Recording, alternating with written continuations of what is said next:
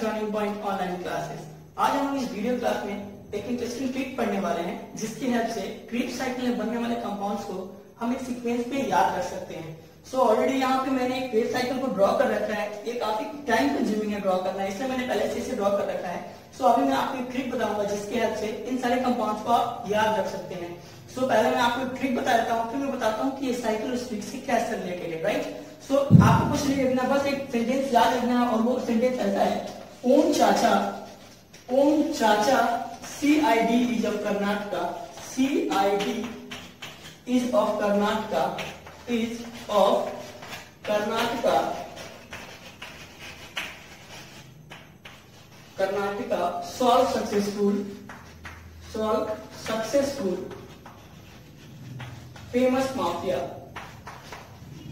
famous mafia तो यहाँ पे मैंने एक सेंटेंस लिखा है, ओम चाचा C I D is of Karnataka solve successful famous mafia यहाँ पे जितने वर्ड है, उनका जो पहला लेटर है, वो एक कंपाउंड को रिप्रेजेंट करेगा, जो आपका क्रेप साइकिल में बनता है।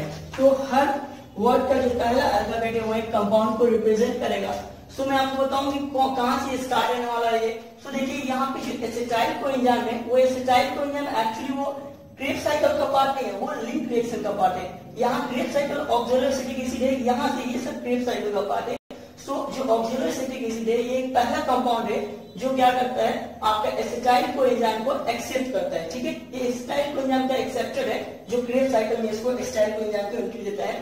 तो यहाँ पे देखिए तो एक एसिटाइल को एंजाइम है ऑक्सिलरी एसिड के साथ मिलेगा, और उसके बाद से बनेगा सिट्रिक एसिड उसके बाद से यूनिटी और ऐसे ये साइकिल चलता रहेगा। तो यहाँ पे देखिए जो पहला है ऑक्सिलो एसिटिक एसिड तो ये ओम चर्चा का जो ओ है, वो रिप्रेजेंट करेगा आपका ऑक्सिलो एसिटिक एसिड को। और जो सी है, वो रिप्रेजेंट करेगा सिट्रिक एसिड को। फिर दूसरा वाला जो सी है, वो सिस एक्नेटिक एसिड को रिप्रेजेंट करेगा। फिर आई से हो जाएगा आपका आइसोसाइट्रिक एसिड फिर ओ से आपका हो जाएगा ऑक्सिलोसेक्सिनिक एसिड फिर जो के है, उससे हो जाएगा आपका अल्फ़ा की जो ग्लूटारिक एसिड उसके पास से जो एस आएगा, उससे हो जाएगा आपका सक्सिनाइल कोएंजाइम है। फिर दूसरे वाले एस से हो जाएगा आपका सक्सिनिक एसिड उसके बाद से एस से हो जाएगा आपका फिमेरिक एसिड और फिर हो जाएगा आपका मैलिक एसिड और फिर मैलिक एसिड से फिर ऑक्सिलोसिटिक एसिड जनरेट होगा और फिर इट इज़ ये साइकिल रिपीट होने लगेगा। फिर ये ऑक्सिलोसिटिक एसिड क्या करेगा? आपका कोएंजाइम को एक्सेप्ट करेगा और फिर ये साइकिल एज इट रिपीट होते जाएगा राइट तो इस तरह आप इस सेंटेंस को याद करके इसमें जो भी कंपाउंड है, एक सीक्वेंस से ऑक्सिलोसिटिक एसिड से आप स्टार्ट करके सबको याद रख सकते हैं। भाई ये हम लोगों को तो एक ट्रिक वाला क्लास है फिर भी मैं थोड़ा सा बात करते हैं उसमें कैसा किस तरह के क्वेश्चंस पूछे जाते हैं। सो so, ये देखिए जो क्रेप साइकिल है क्रेप साइकिल आपको बहुत मतलब पूछेगा कि बताइए जो एस टाइप को का एक्सेप्टर कौन होता है तो आप जानते हैं कि acceptor of acetyl coenzyme in Krebs cycle right उसके बाद से आपको पूछेगा कि कौन सा कंपाउंड जो कौन सा कंपाउंड है कितना कार्बन कंपाउंड है राइट यहाँ पे हम लोग बात करें देखिए तो ये एसिडिक है वो एक फोर कार्बन कंपाउंड है। और जो एसिटाइल कोएंजाइम है एक टू कार्बन कंपाउंड है। और ये दोनों मिलकर के एक सिक्स कार्बन कंपाउंड बनाते हैं राइट यहाँ पे देखिए जो पायरिक एसिड है पायरिक एसिड इज़ एक प्रोडक्ट ऑफ़ ग्लाइकोलाइसिस ये ग्लाइकोलाइसिस का एंड प्रोडक्ट है और ये क्या होता है? ये थ्री कार्बन कंपाउंड है। एक ग्लूकोज मॉलिक्यूल से कितना बनता है? टू मॉलिक्यूल से pyruvic acid so pyruvic acid three carbon compound है और थ्री कार्बन कंपाउंड और ये पायरिक एसिड क्या होता है? ये क्रेप साइकिल में पार्टिसिपेट नहीं करेगा तो क्या करेगा? सबसे पहले क्या होता है? Pyruvic acid acetyl coenzyme में कन्वर्ट हो जाता है, उसके बाद से acetyl co enzyme crepe cycle में आता है और फिर क्रेप साइकिल में लगता है। तो यहाँ पे देखिए, यहाँ पे pyruvic acid three carbon compound है और थ्री कार्बन कंपाउंड है और यहाँ पे डी कार्बोनेशन होता है तो एसिटाइल को एंजाइम बनता है, ये टू कार्बन कंपाउंड है और ये एक प्रोसेस है, इसको बोलते हैं हम लोग link reaction so link reaction यहाँ पे आप देखिए, यहाँ पे डी कार्बोक्सिलेशन हो रहा है और यहाँ पे क्या हो रहा है? डिहाइड्रोजनेशन हो रहा है। ठीक है, यहाँ पे ऑक्सीडेशन हो रहा है। तो इसको क्या बोलते हैं? ठीक है ऑक्सीडेटिव डिकार्बोक्सिलेशन बोलते हैं राइट तो यहाँ पे देखिए थ्री कार्बन कंपाउंड में एक डिकार्बोक्सिलेशन होता है टू कार्बन कंपाउंड बन रहा है राइट एक कार्बन तो यहाँ पे निकल गया ना?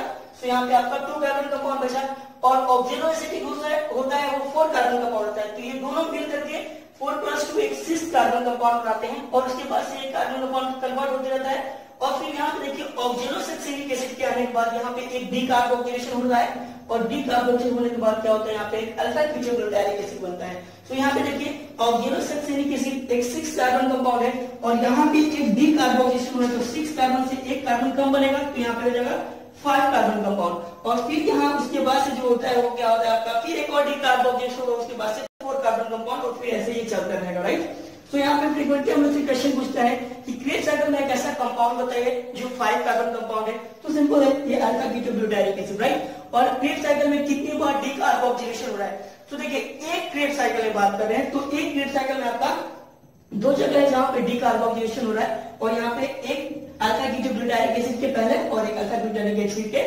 बाद राइट इसके अलावा कहीं नहीं हो रहा है राइट उसके बाद से क्या होता है कि एक और क्वेश्चन पूछता है कि क्रिएट साइकिल के कौन सा स्टेप है?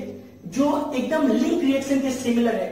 तो देखिए, ये जो क्रिएट साइकिल का ये स्टेप है ये एकदम लिंक रिएक्शन का सिमिलर है। क्योंकि देखिए यहाँ पे, यहाँ लिंक रिएक्शन में थ्री कार्बन से टू कार्बन कंपाउंड बन रहा है मतलब एक कार्बन कम कंपाउंड बन रहा है राइट ये थ्री कार्बन है तो यहाँ से टू कार्बन मतलब एक डी हो रहा है। उसके बाद देखिए, यहाँ पे भी देखिए, यहाँ पे फाइव कार्बन कंपाउंड से फोर कार्बन कंपाउंड बन मतलब यहाँ पे एक कार्बन कम कंपाउंड बन रहा है राइट यहाँ पे भी एक डिकार्बोक्सिलेशन हो रहा है। यहाँ पे एक डिहाइड्रोजनेशन हो रहा है। तो यहाँ पे भी देखिए एक डिहाइड्रोजनेशन हो रहा है। यहाँ पे लिपोइक एसिड यूज़ हो रहा है।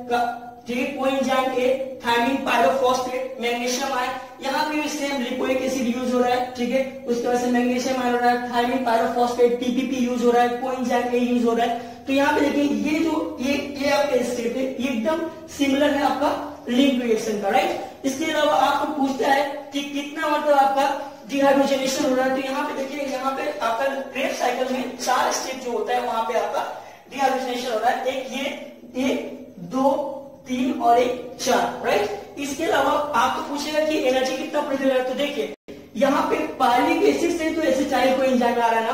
तो हम जानते हैं कि जो ग्लाइकोलाइसिस में होता है, जो टू मॉलिक्यूल से पायलिक एसिड बनता है तो यहाँ पे एक पायलिक एसिड से एक एसिटाइल को एंजाइम है एक क्रेप साइकिल फिर जो दूसरा पायरिक एसिड बनेगा, उससे फिर दूसरा स्टाइल को एंजाइम है फिर एक क्रेप साइकिल तो मतलब कि आपका अगर पूछता है कि एक क्रेप साइकिल में कितना बनेगा तो आप ऐसे बोलेगा, लेकिन अगर एक ग्लूकोज मॉलिक्यूल से बोलता है तो एक ग्लूकोज मॉलिक्यूल से आपका दो पायरिक एसिड प्रोड्यूस होगा और दो पायरिक एसिड से दो मतलब क्रेप साइकिल चलेगा तो फिर उसको आपका कैलकुलेशन चेंज हो जाएगा राइट इसके अलावा आपका एक बोलता है कि कौन ऐसा कंपाउंड है जो ग्लाइकोलाइसिस और लिंक रिएक्शन को, जो ग्लाइकोलाइसिस और क्रेप साइकिल को लिंक करता है? ठीक है? तो देखिए, ये क्या होता है? ठीक है, ये एसिटाइल कोएंजाइम ठीक है, ये क्या होता है? एक लिंक रिएक्शन है, एक लिंकिंग कंपाउंड है, ये लिंक कर रहा है ग्लाइकोलाइसिस और क्रेप साइकिल को लिंक कौन करता है? एसिटाइल कोएंजाइम है राइट इसके अलावा आपका एक और बहुत इंपॉर्टेंट क्वेश्चन है कि जितने भी ग्रेप साइकिल के जो आपके एंजाइम्स होते हैं, वो सारे के सारे माइटोकॉन्ड्रियल मैट्रिक्स में प्रेजेंट होते हैं। लेकिन यहाँ पे सक्सिनिक डिहाइड्रोजेनेज जो होता है सक्सिनिक डिहाइड्रोजेनेज एक ऐसा एंजाइम है जो इनर ऑफ़ माइटोकॉन्ड्रिया प्रेजेंट होता है, वो प्रेजेंट नहीं होता है। ये भी बहुत बड़ा क्वेश्चन पूछा है राइट एक ये क्वेश्चन पूछता है आपका, फिर एक ये क्वेश्चन पूछता है, फिर एक फाइव कार्बन कंपाउंड वाला क्वेश्चन पूछता है, फिर ये पूछता है कि कौन एक्सेप्टर मॉलिक्यूल से टाइप को साइकिल में तो ऑक्सिलरी एसिटिक एसिड के एक्सेप्टर मॉलिक्यूल है को का जो साइकिल में पार्टिसिपेट करता है दूसरा कौन सा ऐसा ठीक है? लिंकिंग कंपाउंड है जो लिंक करता है ग्लाइकोलाइसिस क्रेप साइकिल देखिए एसिटाइल को एंजाइम है ग्लाइकोलाइसिस और क्रेप साइकिल को लिंक करता है राइट सो आप इस सेंटेंस को याद रखते हैं। ओम, ठीक है? ओम चाचा CID of Karnataka soft successful mafia famous mafia और इस तरह क्या करना है, हम जितने भी आपके कंपाउंड है उसे याद रख सकते हैं। Thank you very much Thanks for watching. Please like and subscribe to